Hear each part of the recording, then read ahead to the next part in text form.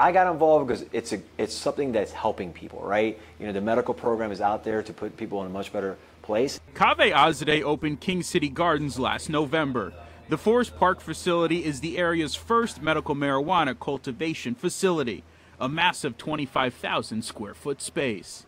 Now that it's gone recreational and it's kind of lost a little bit of that um, taboo, I guess. I think now that people are looking at more like the way you look at alcohol and other things, you know, of that source, I think to be a pioneer of something like that is very exciting for all of us. And he's got plans to expand with the state expected to roll out applications for recreational licenses in June. The first batch of applications will go to people that already have a medical marijuana business.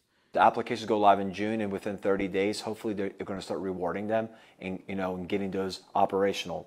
Azadeh says this would allow him to expand his space up to 100,000 square feet. But as details are still being ironed out, he's got concerns over the limits put on how close one dispensary can be from another.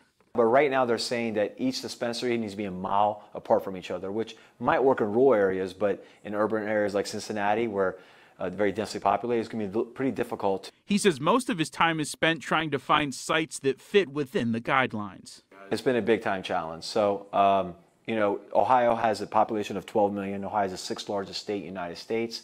Um, so we got to make sure there's enough dispensaries to provide for a state of that magnitude. Azadeh says he's hopeful the state will move quickly on approving applications. I think the, the longer it takes to, for us for it to get to uh, a legalized uh, market, you know, I think we're going to lose some opportunity. You know, Michigan, there's a lot of people still going to Michigan right now for their recreational market. In Mount Adams, Tyler Madden, Local 12 News.